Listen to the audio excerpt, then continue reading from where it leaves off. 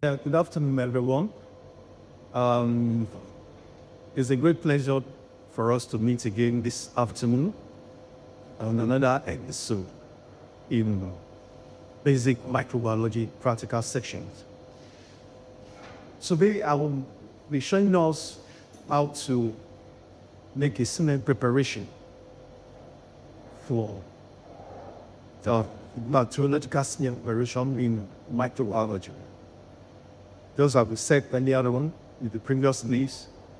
You need to, materials you need to have is your culture plates. You have your plain grease-free slide, and then you have the Bunsen burner, adjust the nerve, it's been written off, and the wire moving good shield into uh, mixed sterile. Now, because you are meant to make a bacterial smear, and we need the physiological saline in place. So you first of all, you fling the wire loop until it is red hot. Then you fling the wave to the head to cool faster. Then get your normal saline. You open. Then take a loop full. The normal saline to the center of a clean, grease-free slide. In the center of a clean, grease-free slide. I decided to take about maybe three loopfuls of it.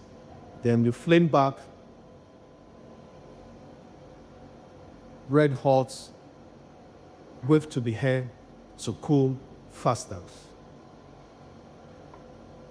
Now, the organism in which we are going to make smear film, it's um, a gram-positive bacteria. This is it here. This is the culture plate with me. Just make sure you touch the surface of the culture media plate that is having the desired organism. Touch it briefly.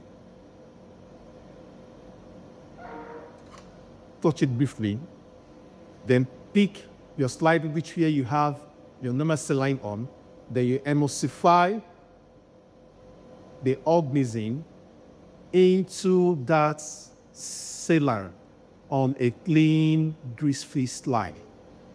You emulsify. This is the way you emulsify. You emulsify, you could increase the circumference so that by the time you view under the microscope, you will so much appreciate the way the cells are being distributed. Having done that, you fling the wire loop again to kill the excess microorganism on the loop. But mind you, because I said earlier on that it's a gram-positive organism you want to make smear from.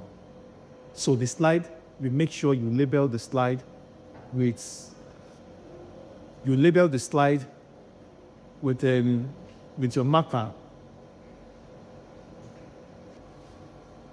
So, having done your smear, you get your marker, so you label the slide. The kind of slide I'm using is a frosted end slide. As I showed you earlier um, previous stage, it allows you to label the slide. So here, because I know it's a GPC, gram-positive um, bacteria I'm working on, I decide to label G positive. I decide to label G positive. Then place your slide on the flat surface so that it dries naturally on its own. Or